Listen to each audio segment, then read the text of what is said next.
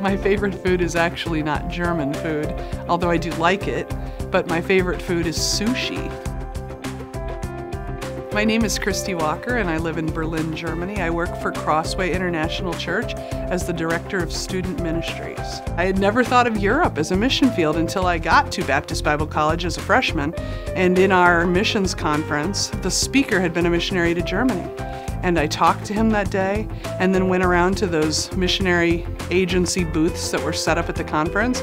And one of them had a brochure on Germany, and I'll never forget the quote on that brochure. It said, Germany at the heart of Europe is without a heart for God. 98% is unreached and unsaved. The land of the Reformation is in need of regeneration. And I read that quote about 10 times that day and just cried and said, God, if you can use me to make it 97%, I'll go.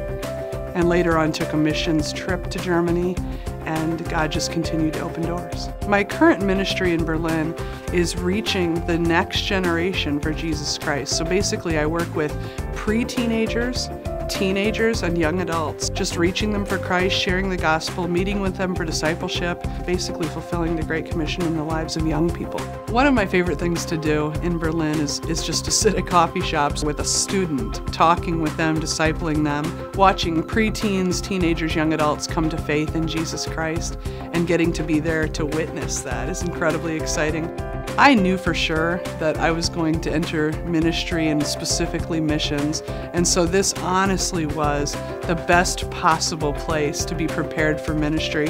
And I, I thank God so much for the lessons that I learned here and the way in which I was prepared by professors and just the learning environment that we have at this university.